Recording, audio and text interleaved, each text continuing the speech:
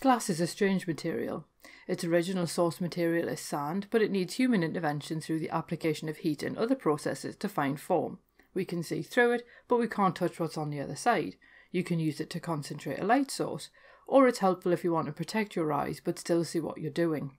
Both solid and fragile, glass can be used to make art or poison balls. It often depicts tales of myth or religious instruction through stained glass in churches, and we can't forget its appearance in fairy tales through glass coffins or slippers. So let's take a look at how glass appears in the world of superstitions, fairy tales, and even fairy lore in this week's episode of Fabulous Folklore. Hello there, and welcome to Fabulous Folklore, the podcast for all things folklore, occult, and just a bit weird. I'm your host, Icy Sedgwick, blogger, fantasy author, and your guide into these rather mysterious realms. I've got some rare things to show you, so come on in, take a look around, but be careful not to touch anything. These things sometimes bite. Well, hello there, and welcome back to Fabulous Folklore with me, your host, Icy Sedgwick. We are continuing with the Folklore of Materials theme this week, and having already looked at metal and stone, we're now going to be having a look at glass. And as I said in the introduction, glass is a bit of a weird material because I know it does in some places form naturally when, for example, lightning discharges into the ground in places like deserts and stuff.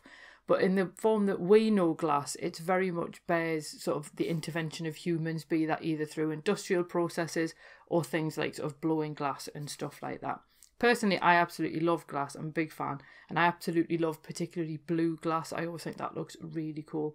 I do have a little bit of a personal connection with glass because my granddad used to work for Pyrex, and if you've never come across Pyrex before, they essentially made kind of unbreakable glass so it was like if you could use it in like a chemistry lab, for example, you could heat it up, do whatever your experiment was, and then put it straight under cold water and it wouldn't break. So yeah, that's a really, really good selling point for a business to create a product that you then can't break and therefore don't need to replace. But yeah, so I've I've always loved glass and I'm quite fortunate that the National Glass Centre is just down the road from me in Sunderland. And if you haven't been, I would recommend it. But we are going to start off looking at glass superstitions. And actually, dreaming about glass in general apparently referred to women. But if you dreamed that someone gave you a glass of water, then a marriage or a birth would happen in your family soon. Now, there's a lot of superstitions around breaking glass as well, which is quite interesting. So, if you dropped a glass while taking a drink, you'd soon hear sad news. But if the glass fell and didn't break, you would have great success.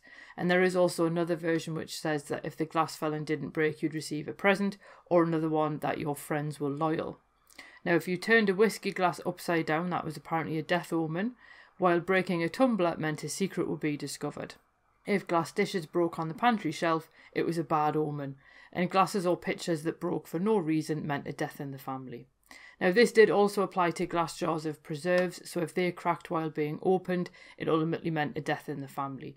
Now, I should point out that these death omen superstitions related to breaking glass are actually largely Western ones, because in Pakistan there was a belief that if you accidentally broke a glass, it meant that evil was actually leaving the house and good luck would arrive instead. Now, obviously, that didn't work if you actually intentionally broke a glass, but if you accidentally broke one, then that was actually a, a good sign instead.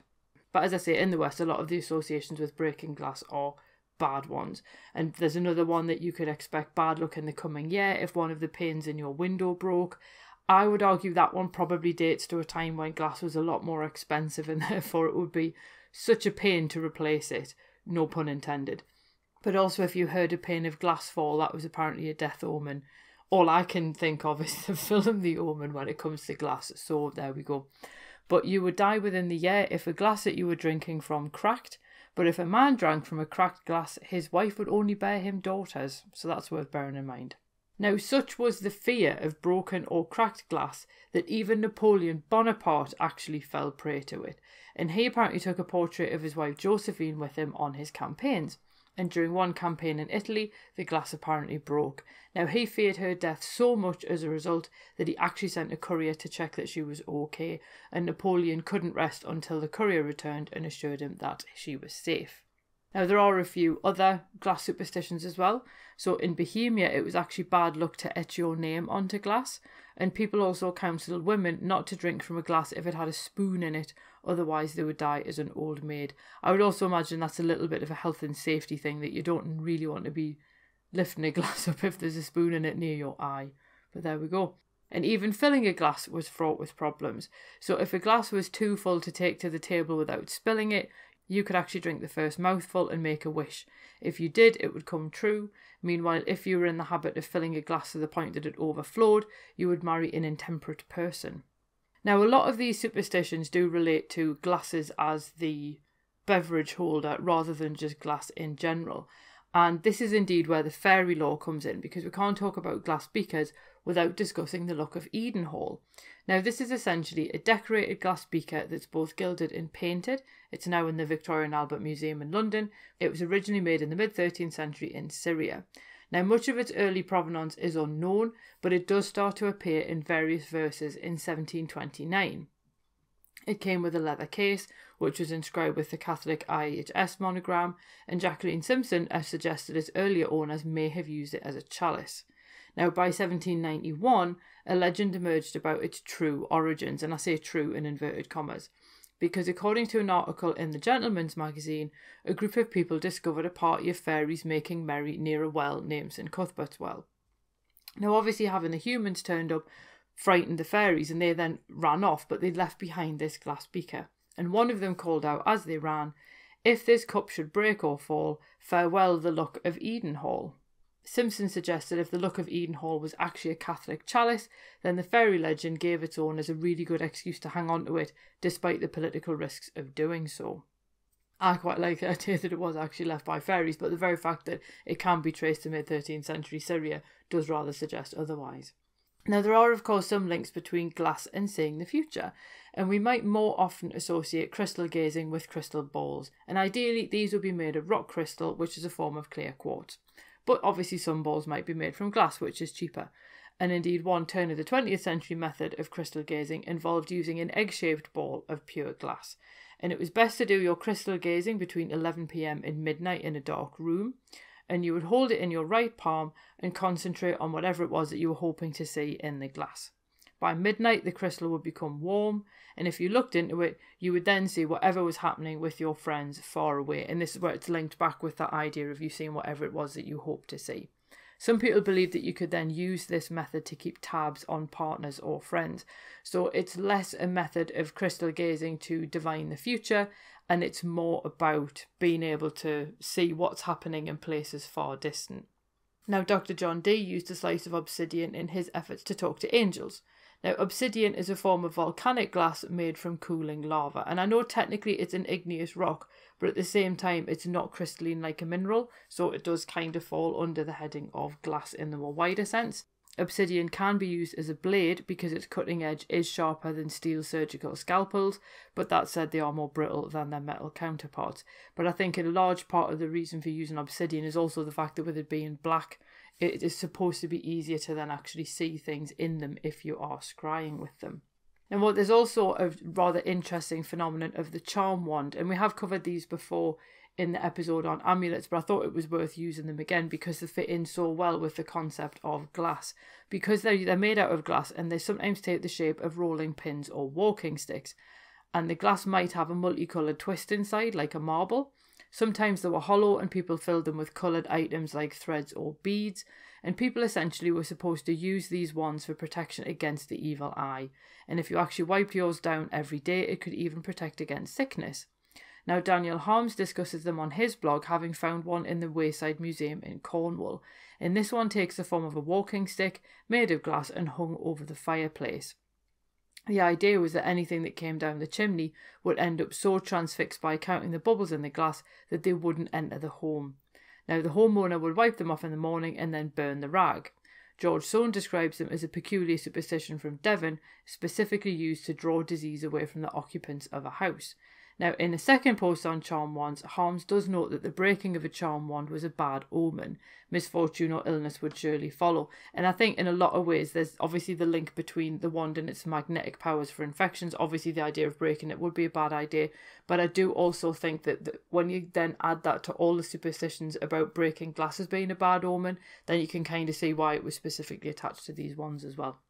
Now, that said, it is more likely that people originally used these items as decorative ornaments and they only gained their magical associations later. And indeed, I actually came across some of these glass walking sticks and so on in the museum in Sunderland, and there is a photo of them on my blog.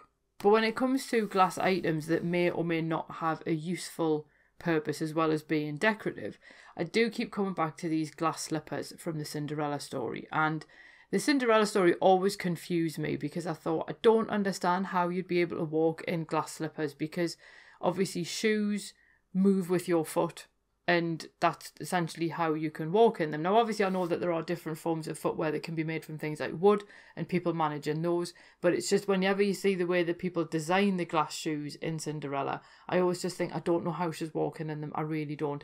And it seems like a really strange material for something that you're going to put on your foot because you think, well, if that breaks and you're just essentially putting all of your weight on broken glass. And I've done that before. I have actually stood on broken glass and in bare feet, and it really hurts. So I I, it always, always struck me as strange. But while I was researching this piece, I actually found a Scottish version of the Cinderella story, which in some ways is almost more interesting than the more well known versions.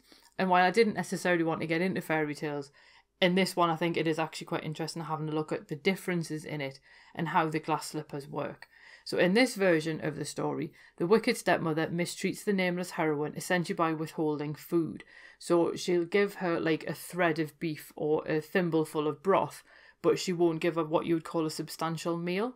Now, thankfully, there's a little black lamb who comes to her aid and seems to produce food out of its ears, which is then able to help our heroine essentially find subsistence. And it's interesting that she's continually referred to as a little girl, which kind of makes the ending a little bit weird. And as well as obviously the stepmother withholding food, she also sets her these impossible tasks, like she has to make an entire cauldron of broth out of essentially minimal ingredients and so on.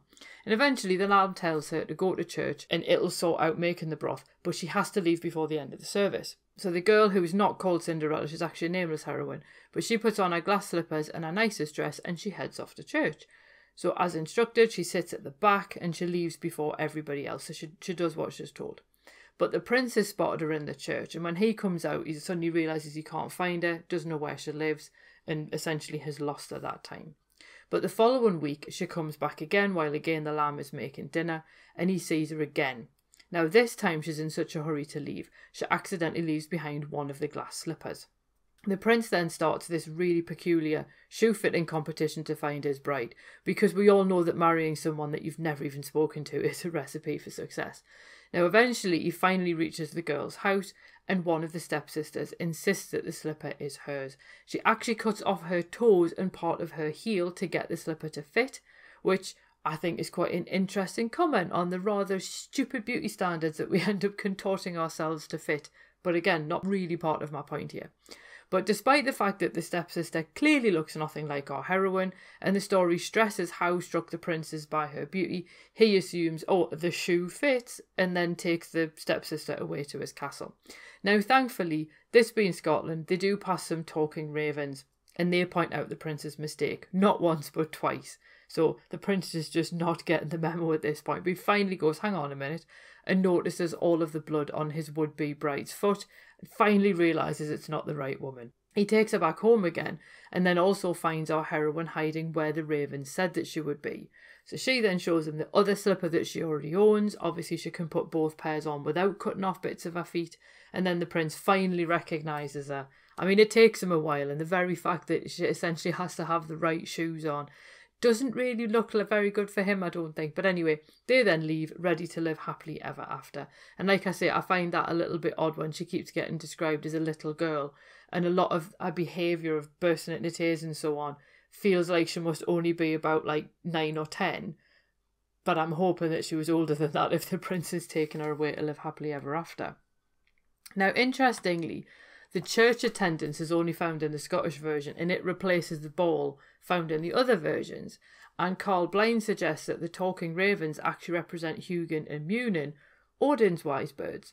But the tale really preserves the deeply impractical and, dare I say it, rather unwise glass slippers. Now, Blind does note this material is essential to the story because the shoe cannot yield to the wrong foot. And in some cases, it's also re- they're referred to as being made out of gold. But again, gold would not mould to fit a person's foot. So a material like satin or leather might be made to stretch. They might obviously also pop open if you try to fit the wrong foot in. You know, there's a, there's an extent to which I'm not going to be able to fit my rather large feet into a size two shoe, but I could probably squeeze them into like the size below mine. But obviously you can't do that with glass. It either fits or it doesn't. And given the slippers fit our heroine perfectly, they can only have been made for her. And then the slippers end up standing in for her in the the story. So where she's not physically present in the story, she still is through this presence of the slipper. Like I said, Blind also discusses whether or not the slippers may have been made from gold, but I can't help thinking that in some ways, if they were made from glass, that offers something different to the story because yes, gold is valuable, but glass makes them more fragile. And that to me infers that these slippers are made to be admired but not actually walked in. So they're the kind of shoes that you would buy to sit down in so that they look good, but you don't you're not expected to walk anywhere. And because of the fact that they're not actually designed to be worn in a practical sense, they then become an indication of the father's wealth since he bought them for the little girl. And since the slippers then stand in for the heroine, they indicate that she too is ultimately wealthy. So, in some regard, you can, if you wanted to stretch it far enough, read that the slippers represent the little girl because she's the rightful inheritor of her father's wealth, whereas the stepsister isn't, and she has to literally cut off parts of her foot in order to fit into that wealthy mould because the wealth is not ultimately hers. And like I say, the idea of glass slippers and cutting bits of your feet off just to get them to fit, I mean, yeah, that, as I say, I'm not saying anything else about un, unrealistic beauty standards, but I do think that that really does take the biscuit. But ultimately, what can we make of glass? Well, like I say, I think a lot of the superstitions revolve around the glass breaking because of the fact that that would obviously be A, something that you would then need to clean up, but B, it's something that you can't put back together again necessarily. And I think that this is why the glass superstitions, at least in the West, where dropping a glass but it not breaking becomes a good omen because that's something that's unexpected. Unless, as I say, you're using Pyrex and that kind of had a bit more of a tendency to bounce. Whereas by contrast, obviously, if you drop something and break it, then obviously you then need to go and buy another. So that thing has died in the fact that you can't use it again. So you can see how it's then linked with death as well. And obviously, I haven't gotten to the glass coffin as well. That's just weird. I mean, the glass coffin very much turns the sleeping princess, whether that's Sleeping Beauty or Snow White, depending on which version of the story you look at. It essentially turns what is otherwise a corpse into a bit of a spectacle. And I know that technically speaking, neither of them is actually dead, but they appear as if they are, and people assume that they are. And I think again that it's that untouchable sense of glass where you can you can still see the thing, but you can't touch the thing. So the glass kind of forms a bit of a barrier. And I think that that's kind of what makes glass more interesting in some ways than something like metal, where metal forms a, a barrier but not one that you can see through. Glass is also one of those things which wouldn't necessarily have been available to everybody at the same time because obviously when you started getting glazing in in in large buildings obviously that would be a sign of status and wealth the more windows that you had because of the cost of glass so it's a little bit like when you look at the different metals that we did in the first week of this theme that obviously if you if you've then got a lot of gold for example you've got a different set of superstitions attached to it rather than you do something like iron, which is a bit more common. And I think glass is the same. So I think again that's why a lot of the the breaking of glass refers to death omens and so on. But I hope you enjoyed this anyway. It was quite a fun one to put together because I wasn't expecting there to be so many superstitions and so on associated with actually what is quite a normal and humdrum kind of material to us now. Next week we're going to have a look at either paper or wood or possibly both. I haven't decided yet, so we'll we'll see how that one goes and then that'll be the end of this theme. If you do have any requests for what you would like for the next theme or for the rest of the year indeed, then obviously feel free to put a request in. If you request something that I haven't already done and that I can actually do, then obviously I will do my best to actually use the requests that I'm given essentially. Some of the requests I get, I am like, well, I've actually already got an episode on that, but I am working on a new website which will make it much easier for you to actually find what I've done episodes on and what I haven't. So that'll be coming hopefully in the next couple of months. But anyway, I'm going to let you go and enjoy whatever it was that you were doing before you started listening to this. I hope you have a marvellous day ahead. I'll see you next week for our final episode in the Folklore of Material series. Cheerio. Well, thanks for listening, and I hope you enjoyed that episode. If you did, feel free to leave a review wherever you listen to podcasts because that helps other people find the show too. It also takes between four and six hours to research, write, record, and edit these episodes. So if you want to help support my time in doing that, then you can buy me a coffee. Or you can join the Fabulous Folklore family on Patreon and enjoy extra benefits, including exclusive episodes and articles, and even illustrated talks. All the links you need are below, and thanks in advance.